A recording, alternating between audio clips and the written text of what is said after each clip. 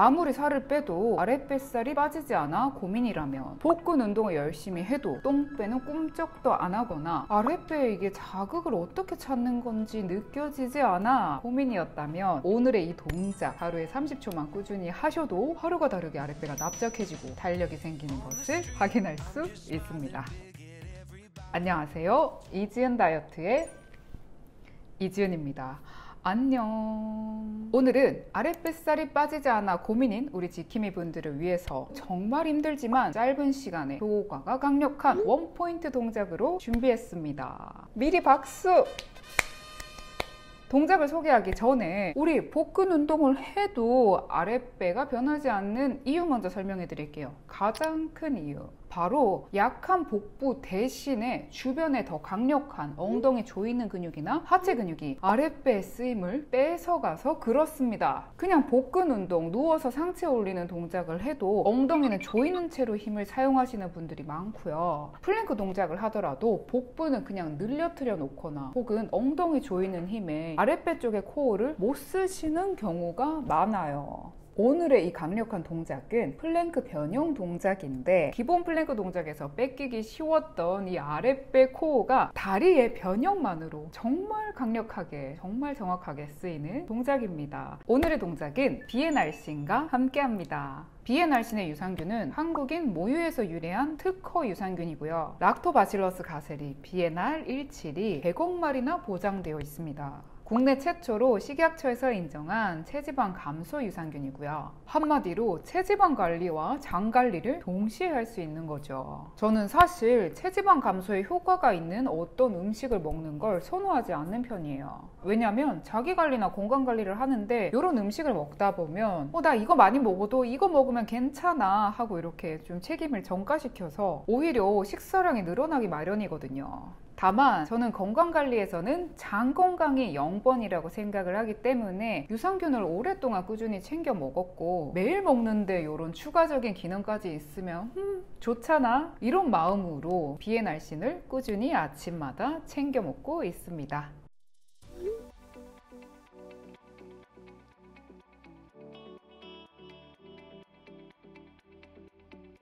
그럼 바로 오늘의 동작 배워보러 가겠습니다. 동작 배워보겠습니다. 우리가 평소 진행하던 플랭크는 버티는 자체로도 많은 힘이 들어가지만 사실은 고도의 정확성이 필요로 한 동작입니다. 기본 플랭크 기준 어깨와 팔꿈치는 일자, 주먹부터 팔꿈치는 바닥에 밀착, 날개뼈 사이 위로 올려 견갑 안정화, 복압 유지, 골반의 중립, 곧게 뻗은 허벅지, 발목의 90도 유지, 플랭크는 진행할수록 위 리스트를 한 가지씩만 더 챙겨주어도 유지하는 시간이 짧아지지만 훨씬 효과 좋은 플랭크 동작을 만들어낼 수 있습니다. 많은 분들이 플랭크 동작 시 아랫배 힘이 약하게 쓰이는 주요 포인트는 복부의 힘이 약해 허리가 과하게 꺾이거나 엉덩이에 과하게 힘을 주거나 발목을 너무 밀어내는 경우입니다.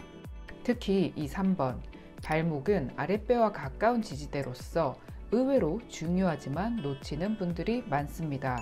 플랭크 시 발목을 90도 각도로만 찾아주어도 다른 근육의 쓰임을 찾을 수 있습니다. 지금부터는 아랫배가 강력하게 쓰일 수밖에 없는 동작을 배워보겠습니다. 준비물은 의자가 필요하며 의자가 높을수록 아랫배 자극이 올라갑니다. 바로 동작 들어가겠습니다. 배워보는 시간과 함께 30초 버티는 시간 함께 가져보겠습니다. 의자를 준비하고 함께 따라해 주세요.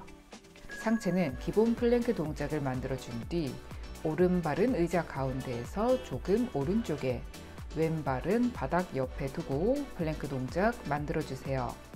그냥 진행하셔도 복부가 짜릿하지만 오른 다리를 올려 골반이 오른쪽으로 회전하기 쉬우니 골반은 꼭 일자 모두 바닥을 바라보도록 유지해 주세요.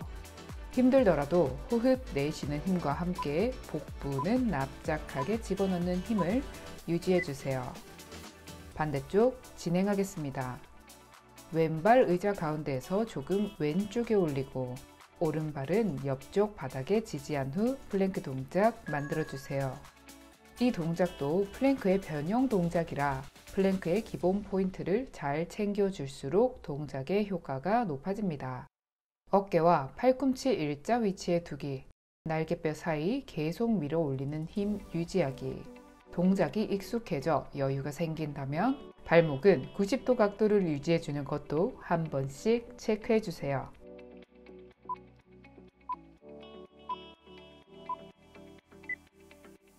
수고하셨습니다. 수고하셨습니다.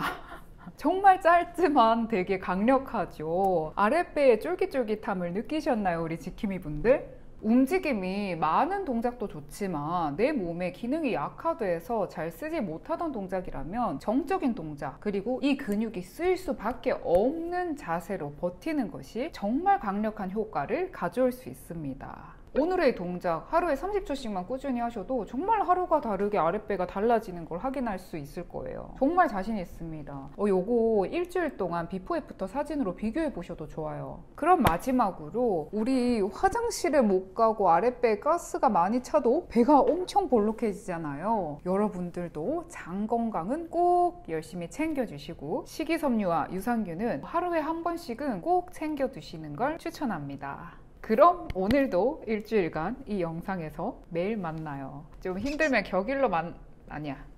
일주일간 매일 만나요. 안녕.